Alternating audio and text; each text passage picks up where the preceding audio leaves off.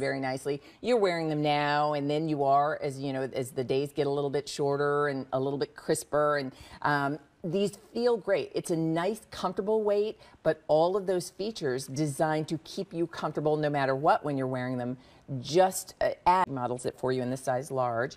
Um, Jamie, do you mind saying how tall you are? Yeah, I'm five foot six. I'm wearing the size extra small.